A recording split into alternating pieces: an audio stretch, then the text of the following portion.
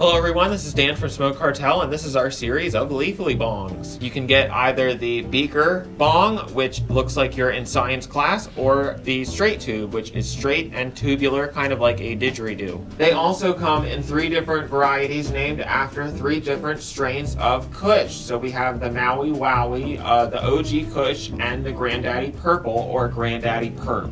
Granddaddy Purp is also what I used to call my grandfather when he would choke on peanuts. The glass is very thick, five millimeters. Uh, so they're very sturdy, very well built, very well balanced. Um, uh, they're not going to fall over very easily. Um, I guess if you knocked them over intentionally, they would fall over, but most objects would do that because of gravity, unfortunately.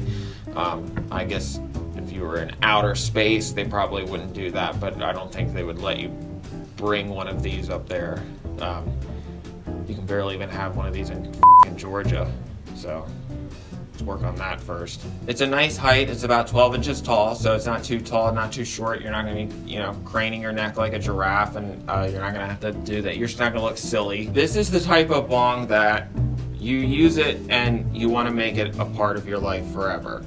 Um, it's not a bad boy. It doesn't have a motorcycle, but it's going to pack you lunch every day.